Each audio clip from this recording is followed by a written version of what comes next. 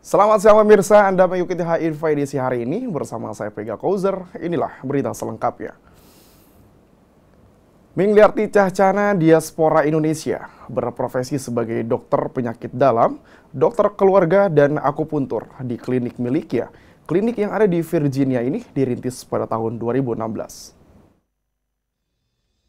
Nama saya Mingliarti Cahyana, um, saya itu dokter dari Indonesia, uh, kuliah waktu dulu di Universitas Pajajaran, kemudian saya datang ke Amerika untuk uh, menjadi dokter di sini. Setelah pindah ke Amerika pada tahun 98, Dr. Mingliarti Cahyana mengambil ujian persamaan, tes bahasa Inggris dan melamar untuk kuliah spesialisasi penyakit dalam di Interfaith Medical Center, New York. Sudah mendapatkan training uh, penyakit dalamnya yang di sini, kayak begitu baru kita uh, boleh mengambil uh, board exam. Sesudah board exam, um, baru kita uh, mendapatkan um, license untuk izin bekerja, baru kita boleh praktek. Sempat praktek di berbagai rumah sakit dan klinik, Ming merintis One Health Medical tahun 2016 yang menyediakan jasa dokter keluarga, penyakit dalam, dan akupunktur. Kita um, ingin menangani pasien itu secara keseluruhan dan juga untuk meningkatkan taraf kesehatan mereka.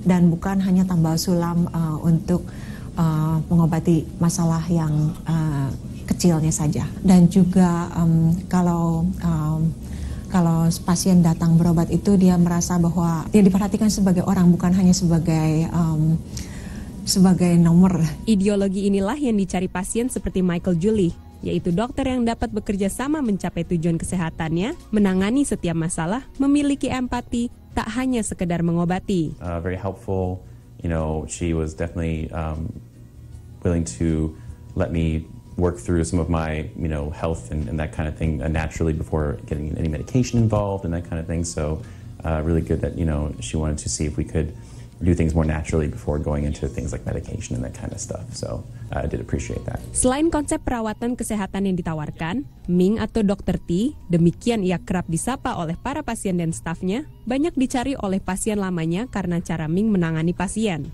Seperti dijelaskan Wilma Tapia, Kepala Administrasi di Klinik One Health Medical. She care a lot about the patients. She know the patient for names. Always I ask her, how can you remember? she has a lot of patience, but she always remember.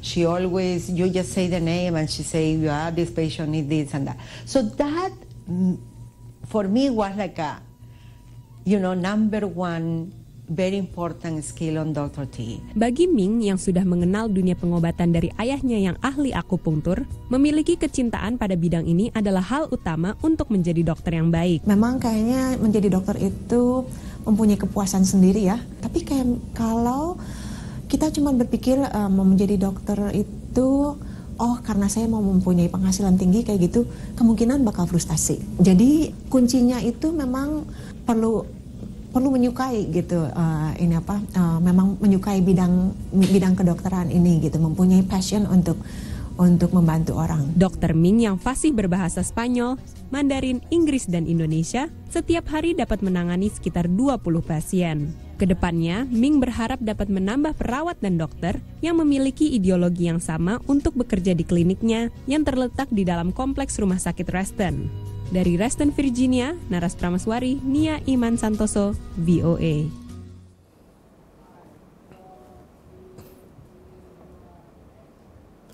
Pemirsa, dari lantai bursa berikut kami sampaikan data perkembangan pergerakan saham di Bursa Efek Indonesia untuk sesi perdagangan pertama hari ini.